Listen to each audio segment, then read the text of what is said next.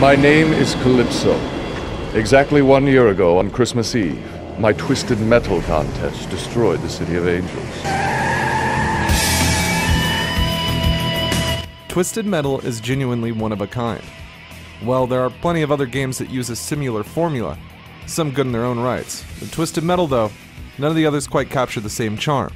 Whether it be the glorious Calypso and his vehicular contest, came to him in some kind of a fever dream, or the various drivers and cars that seem to take on a personality of their own. Twisted Metal holds a special place in many people's hearts. One of the most memorable aspects of the Twisted Metal games is the many battlegrounds you find yourself in. Spanning across the world in various conditions throughout the series, in this video we are going to dive into some of the most iconic and unforgettable levels from the Twisted Metal series. If you enjoy the video and want to see more content like this, make sure to subscribe to the channel. Many of you may know me from my main channel, which is dedicated to Fallout, so subscribing to this channel really helps out if you like this type of content. Leaving a like helps out as well if you enjoy the video. So let's jump in to 9 twisted levels from Twisted Metal.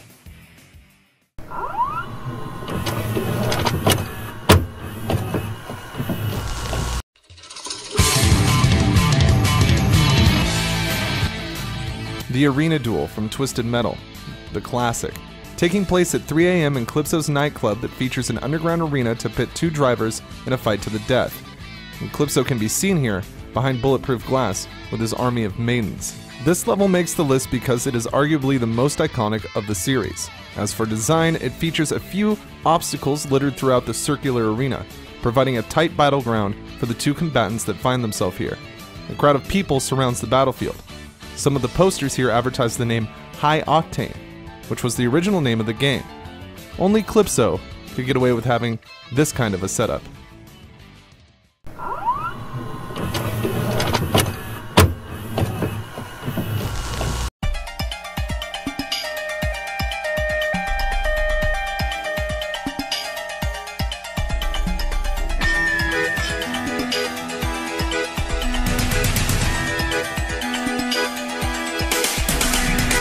The winding streets of Paris, France make a terrific battlefield for the Twisted Metal tournament. Cars flying and fighting through the buildings of downtown Paris is truly a fantastic sight. The city is filled with nooks and alleys perfect for waging war against the other combatants of Twisted Metal. The famous Eiffel Tower acts as a centerpiece for this battle, and with a well placed explosive and use of the teleport pad, we can blow the tower sky high and create a bridge to the rooftops of the city. Heading over to the Louvre, we can find the famous Leonardo da Vinci painting, the Mona Lisa, which will reveal its secrets if it gets hit with napalm, burning away the picture to show a cheat code. And this map would be remastered in Twisted Metal Head On, and a great throwback to the classics. This map will always be burned into my mind as a truly iconic level in the series. The building's indestructible environment made it a staple to play with friends, over and over again.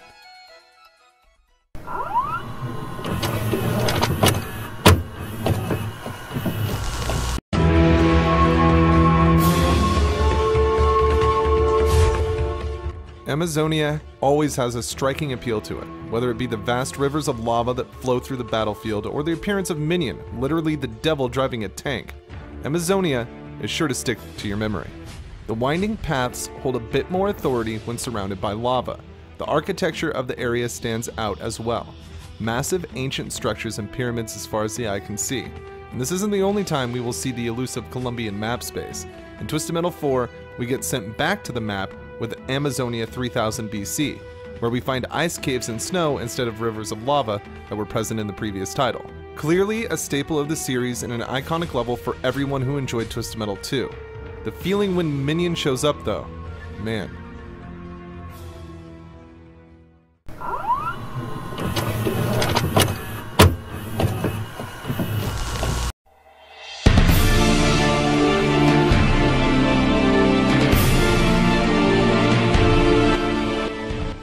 Rooftops of the towering skyscrapers of New York City act as one of the most iconic maps from Twisted Metal 2.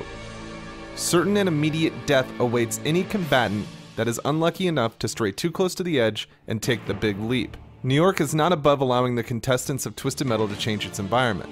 If someone were to shoot the Statue of Liberty, they would be in for quite the surprise. Things like this are one of the many reasons Twisted Metal stands out so much. Tongue in cheek Easter eggs like this were a driving force back in the day, and Twisted Metal hosts them in spades. The level itself is pretty relentless. The rooftops do not mesh well with the dated controls of Twisted Metal. With some cars handling like a bathtub, navigating the insta death skyline of New York could be quite frustrating. And that just adds to the nostalgia.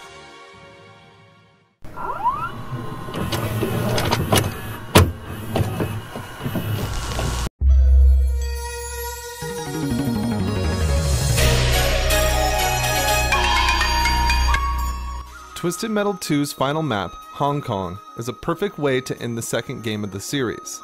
Tall buildings and alleys thread the grid style road layout, giving great opportunity for those who like to use cover and expose those who don't. Perhaps one of the most memorable moments from this map is the appearance of Darktooth, Sweet Tooth's father and former Twisted Metal contestant who now has a vendetta against you for killing his son in the tournament. The giant ice cream truck, painted a menacingly black tone, driven by a madman, will test the mettle of any seasoned Twisted Metal player. Hong Kong does offer some advantages to this fight, as Dark Darktooth's size will work against him in some of these corridors. Once the truck is defeated, you still have the head to worry about. A nightmare inducing scene that still haunts me to this day.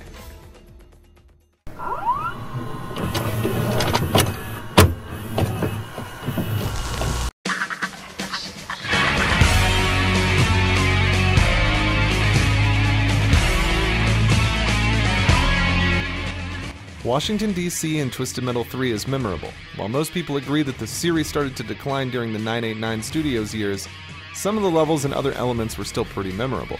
And this map was for a different reason, because it shows the level of interest this new studio had in making exciting content for the series. The DC map is just a big open square, in front of some of the landmarks that you might recognize. The one thing that does stand out about this level is the return of Darkside, the semi truck from the past entries of the series. Seeing a previous character come back as a boss, especially Darkside, was a welcome addition to the game.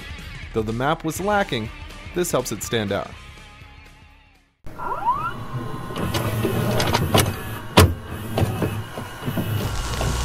Twisted Metal 3's North Pole battlefield is a real playground of mayhem. Nothing was more fun than destroying igloos as well as Santa's workshop, snowmen litter the map, the icy cliffs make for a great time while participating in the Twisted Metal contest. Though some levels in Twisted Metal 3 seem a bit lacking, the North Pole really brings out some of the greatness that the series initially harbored. The wacky environment mixed with the dangerous terrain makes it a standout for the game, but also for the series as well.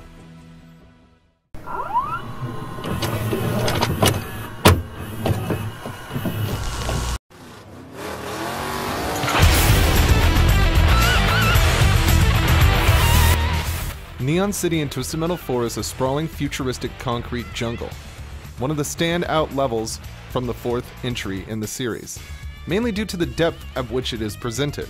Neon City offers battles on rooftops as well as the city streets below, allowing you to really mix it up when fighting out with the other contestants. The lights and visuals found here are clearly what inspired the name of the city, but one of the main reasons the map stands out so much is how visually appealing it is. It offers a fun futurescape for the Battle of Twisted Metal to take place in. We encounter Moonbuggy here as a boss fight, which makes it a bit more memorable. With Twisted Metal 4 being one of the weakest entries in the series, this level stands out.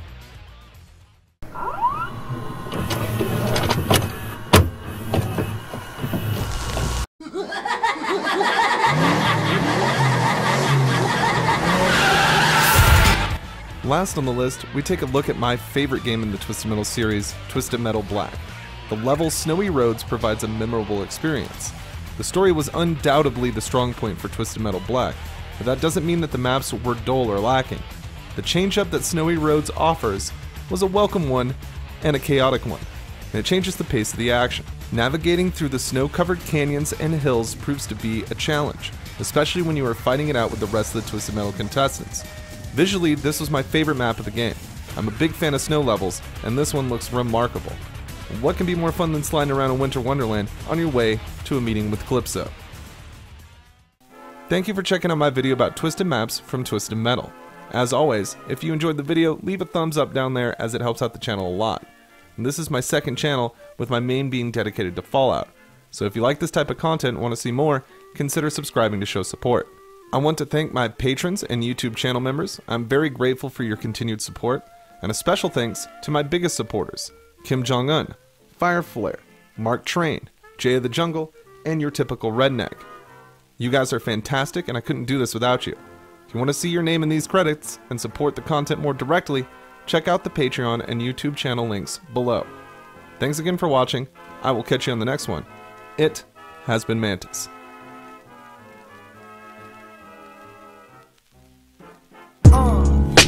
gotta testify. Come up in the spot looking extra fly. For the day you die, you gon' touch the sky. You gon' touch the sky, baby girl. Testify. Come up in the spot looking extra fly. For the day you die, you gon'